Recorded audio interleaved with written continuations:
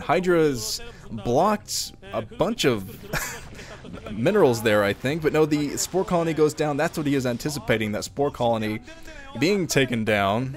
Because if they had both stayed up, he would have had a hard time mining from that natural expansion. But anyway. Oh, four Zerglings sneaking inside of Hyvaa's main. These could do a lot of damage uh, before they're taken down by the Sunken Colony. But no, uh, nice grouping of drones. No drones go down for Hyvaa. That was some good micro from him. Going straight into an inner mineral to hide his drones. Right next to the Sunken Colony too, so that worked out. Hydra is still grouping up, but Hyvaa anticipates this. He anticipates the Zerglings, going to track them down, kill as many as he can before they split up. Um, one Zergling stuck by, but the rest are out in a clump. Right for the picking.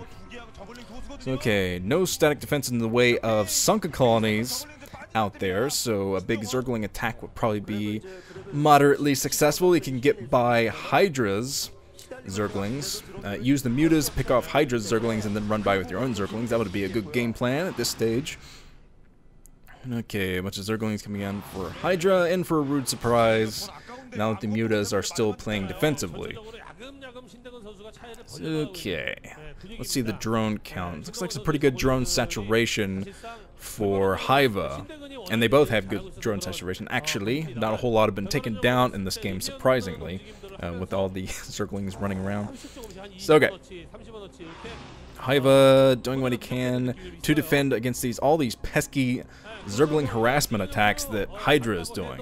Because Hydra knows if he gets just the right attack, uh, it gets in there, kills just the right amount of drones, he's going to be able to steamroll his way to victory uh, after getting that early 10 hatchery at his natural.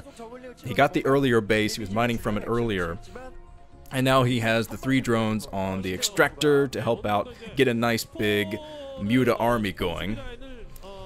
Okay, I'm gonna try to take control of the skies. He doesn't have, he only has the one uh, spore colony inside of his main. He has the two with the natural expansion because that's what he anticipated being attacked the most. And that was a good call from him. He's got the ledge right behind that natural expansion, which usually makes it easy to attack.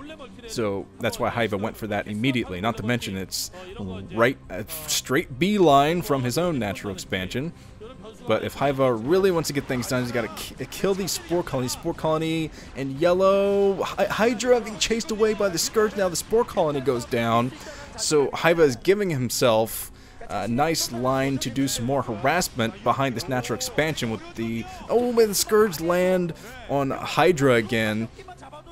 So Hydra desperately trying to micro against Hyvaa because Hyvaa is just going to keep harassing that natural until Hydra makes him stop. Because that ledge is there, just gives you some great, uh, great vantage point of the drones. And unless there is an Overlord in the vicinity, which there is, this is the Overlord position right next to that natural that'll help out a lot in at least finding those mutants once they come down to that natural. But now, uh, yeah, Hydra is going for the counter attack. He's going for the counter at this at Hyvaa's natural expansion. There was a, the sunken colony there, but no spores to fight back. So Hyvaa forced to bring back his mutas. Uh, to his natural expansion, trying to chase him away with Scourge now. I got the Scourge en route to kill these mutas. And for some reason, Hydra is not microing against the Scourge. He seems to be far enough away from them, but he doesn't want to be caught um, by the rest of the Scourge that were behind that one, I think. Oh, tries to micro against the Scourge, unsuccessful. One lands, uh, getting that one muted down to 11 health. Okay. See if Hydra's still running away. Play the Benny Hill music here. As he's trying to get away from these Scourge. Both Scourge land again. Those, those mutas are softened up, to say the least. And Hyvaa, sensing the blood in the water, seeing the opportunity after landing all those Scourge, he comes in, trying to attack again. But once he sees the second Spore Colony, he's like, okay, I uh, gotta get more mutas in this clump. Before I do this, try to get lucky, kill the rest of the mutas that Hydra has. Hydra trying to run out with some harassing Zerglings. Okay, this is getting very intense now at this natural. Hyvaa, Hydra, rather, has not been able to mine much at this natural after losing that spore colony that was within range of the mineral line. He hasn't been able to do much at all.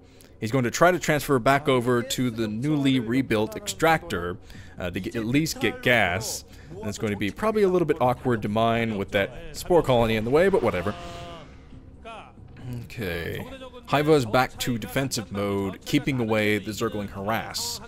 the observer's pointing out the injured Muta. Muta got some crutches, got air crutches. It's kind of limping along in the air. I know that doesn't make a whole lot of sense, but just envision it. Yeah, now you got it in your head, and you know that it's it's possible to... Anyway, so here comes Hyvaa down again. It's got a bunch of Scourge. Coming in with another round of Scourge. Look at those Scourge positioned, waiting for Hydra to strike. Trying to get lucky, waiting for a Hydra strike. But Hydra has resaturated his extractor, at least, not mining from these minerals, as Hyvaa was floating over, just trying to make sure that was the case, because he would have been able, eh, he would have been able to easily snipe drones if they were on the minerals. Lots and lots and lots of Scourge in the air now for Hyvaa. These, the mutas going back and forth. Sort of microing around, staying warm, as the pro gamers like to say, but okay.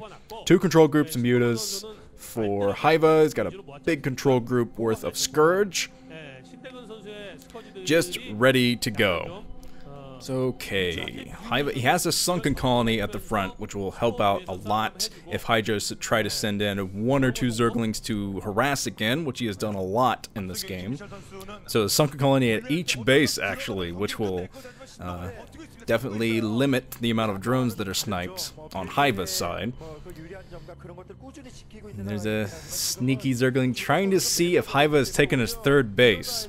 Hyvaa has not taking his third base yet, but we are starting to get to that point in the game um, where the Zerg player would try to take a third base. It's hard to do it in a ZVZ. And that's why we don't see a lot of ZVZs go to mid to late game. It's just because a third base, dreadfully difficult to secure if you don't have static defense all over the place. I mean, even as the the hatch is morphing, there's like an 80% chance that it's going to be taken down by a giant grouping of mutas. Alright. So no third base yet from either of them, but they could definitely put down a third hatchery anyway uh, to make complete use of the second extractor and all the minerals that they're getting. If they've droned up at their natural expansion, well, it looks like Hyvaa has. He's gotten some drones on the minerals at his natural expansion. I'm not sure if Hyvaa, Hydra has done the same. Dear God. so, there is Hyvaa, all quiet on the western front. You can almost see a tumbleweed go by. Of course, the tumbleweed is made of creep and other Zerg materials, so there you go. Okay. Mm-hmm. I think I actually did see the tumbleweed there for a second, but I could be going crazy. This has been a really long week. This is like the week to end all weeks. At work and yeah, anyway. Back into the game, enough of the nuke life stuff, but I didn't see much in the way of mineral mining at Hydra's natural expansion. He just had his drones on the extractor. A couple of scouting Zerglings now coming down, and Hydra's moving out with his Muta army. There's a, sc a scouting Zergling gonna try to get a drone kill. Oh, close, but no cigar. Oh, there's a drone kill, a Hydra drone uh, going down. In a second, Hydra drone goes down. It looks like Hydra is not quite paying attention. He has, he's focused everything on the mutas moving up the map. He lands a bunch of Scourge, has some more Scourge coming in, but, oh, big Scourge trap from Hyvaa. This could be the decider. Uh, no Spore Colonies to help out Hyvaa, but he might not need it. No, he's focused in, kills Hydra. So Hyvaa moves out into the round of eight after a grueling tiebreaker. So the guy with the worst ZVZ record of the group is going to move out with the guy with the best ZVZ record of the group. Well, this has been Nuke. The round of eight is on the way soon, so I better make a preview video. Alright, I'll see you guys later for more commentaries.